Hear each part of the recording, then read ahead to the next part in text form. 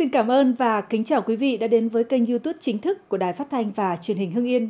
Chúng tôi luôn cập nhật những thông tin mới nhất, nóng nhất trong 24 giờ qua để gửi đến quý vị. Ngay sau đây là phần nội dung chi tiết. Thông tin từ Công an tỉnh Hưng Yên cho biết, Cơ quan Cảnh sát điều tra Công an huyện Văn Lâm đã ra quyết định khởi tố bị can và lệnh bắt bị can để tạm giam đối với hai đối tượng gây ra liên tiếp các vụ cướp tài sản trên địa bàn huyện.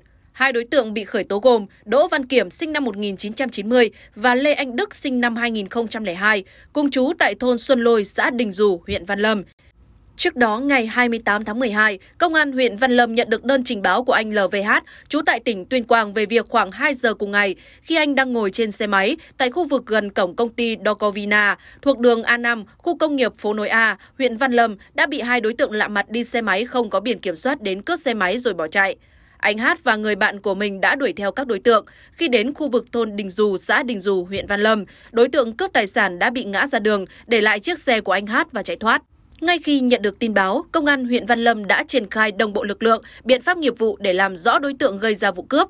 Đến ngày 4 tháng 1, lực lượng Công an huyện Văn Lâm đã phát hiện, bắt giữ Kiểm và Đức. Đấu tranh khai thác, hai đối tượng đã thừa nhận hành vi của mình, đồng thời khai nhận đã liên tiếp gây ra 4 vụ cướp điện thoại, xe máy trên địa bàn huyện Văn Lâm vào các ngày 13, 15, 20 và 22 tháng 12 năm 2023. Công an huyện Văn Lâm tiếp tục củng cố hồ sơ để xử lý các đối tượng theo quy định của pháp luật.